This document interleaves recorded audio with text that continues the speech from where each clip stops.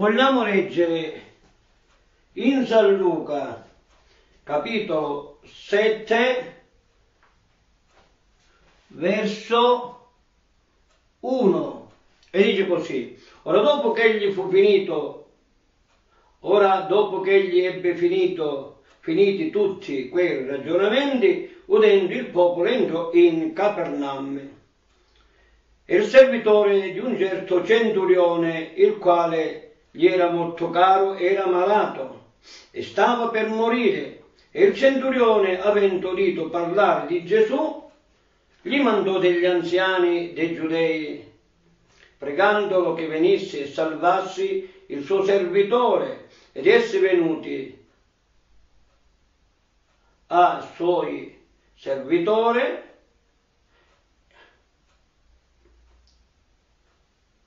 pregandolo che venisse e salvasse il suo servitore.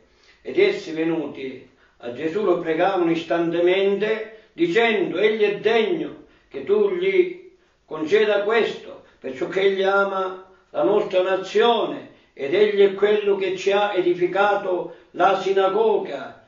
E Gesù andando con loro, e come egli già era non molto lungi della casa, il centurione gli mandò degli amici per dirgli, Signore, non faticarti, perciò che io non sono degno che tu entri sotto il mio tetto, perciò ancora non mi sono reputato degno di venire a te, ma comanda solo una parola e il mio servitore sarà guarito, perciò che io sono uomo sottoposto alla potestà altrui, o sotto di me dei soldati, eppure se dico all'uno va, egli va, se all'altro viene, egli viene.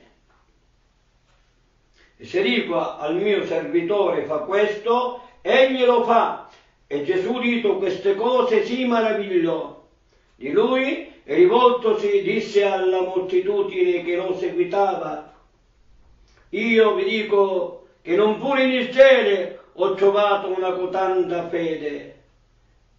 E quando coloro che erano stati mandati furono tornati a casa, trovarono il servitore che era stato infermo essere sano.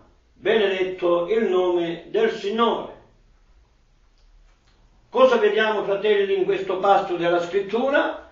Che questo benedetto il nome del Signore, alleluia.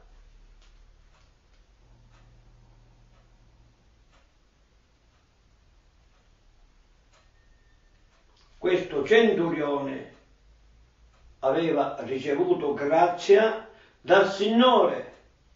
Alleluia, il suo servitore era malato. Gesù gli disse che ci andava Quegli anziani gli raccontavano che era una persona che aveva fatto tanto bene nel loro paese, anche fabbricato la sinagoga.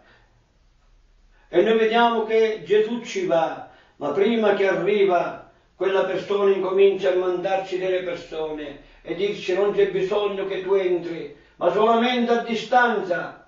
E il mio servitore dice una parola, il mio servitore sarà guarito. E Gesù disse, alleluia, è stato grande questa fede di questo centurione, grande è la fede, neppure in Israele ho trovato cotanta fede, come dire nemmeno nei credenti tante volte si è trovato una cotanta fede. Lode Gesù, perciò fratelli, alleluia, rallegriamoci che il nostro Dio è potente, Gesù Cristo il suo figliolo è grande, è operatore di meraviglie, e noi seguendo Lui saremo, gloria al nome del Signore, saremo usati come il Signore, il Dio ha usato Gesù Cristo, come sono stati usati gli Apostoli, così saremo usati noi nelle mani di Dio per mezzo dello Spirito Santo che ci guida Qui vediamo un uomo con una grande fede. Vogliamo avere noi questa grande fede e di essere sicuri che il Signore ci guarisce di qualunque tipo di infermità e malattia. Alla parola di Gesù,